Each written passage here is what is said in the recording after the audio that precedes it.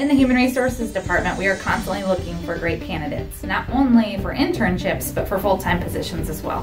When I talk to interns about possible internships, I am always telling them that our people are fantastic. They are going to help lead them through the internship and give them so much to take back to school with them. Uh, this has prepared me for my future career because I get the practical field experience that I can't really learn in school. You get to see what actually you'll be doing in like three or four years or, or less than that. So it's just really interesting to learn from these people who know what they're doing, that they can tell you what to expect. The HR department has definitely trusted me with a lot of different projects. Um, I get to be really independent with my work. I also really like that they take my suggestions if I have a different idea or a different approach. They're always willing to let me try it and just see how it goes. And they always give me the resources and the support that I need.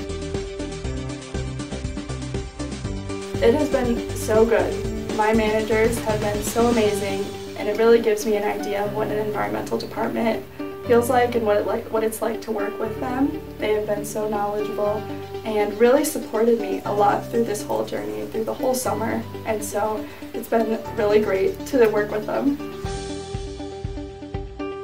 Well, my favorite part of my internship experience was working with the engineering department and um, applying what I learned in school to real hands-on situations at the plant.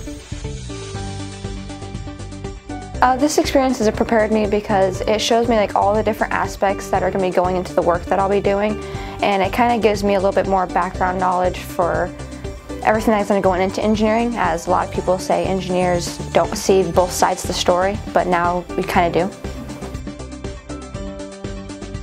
If you have an opportunity to internship here, I highly recommend Interning at MPW has been a very enjoyable experience for me and if you get the chance to do it, I'd go for it. Uh, interning at Muscatine Power and Water was an awesome experience and I'd highly recommend it. If you get the opportunity to do an internship with MPW, I would highly recommend taking it because you're going to work with people who really care about you and they're very genuine.